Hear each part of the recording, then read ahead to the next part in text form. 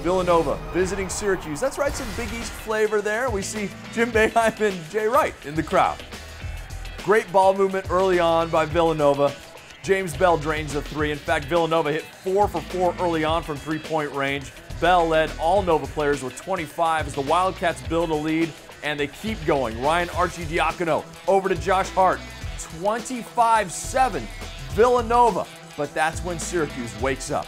CJ Fair alone in the corner for three, and the Orange get within eight. Now tied at 25. Tyler Ennis, the freshman, into the lane, the tough layup, a 20 0 Syracuse run. Syracuse gets the lead 27 25 for the first time. More Ennis. You know, he's battling his brother. Dylan comes off the bench for Villanova. Ennis, the old fashioned three point play there. Syracuse up 38 34 at the break. Second half. Again, more from the freshman Ennis. The scoop 20 for the freshman. And even when it doesn't go right for Ennis, CJ Fair there to clean up the dunk on the follow. That's a must see moment. 'Cuse up 10.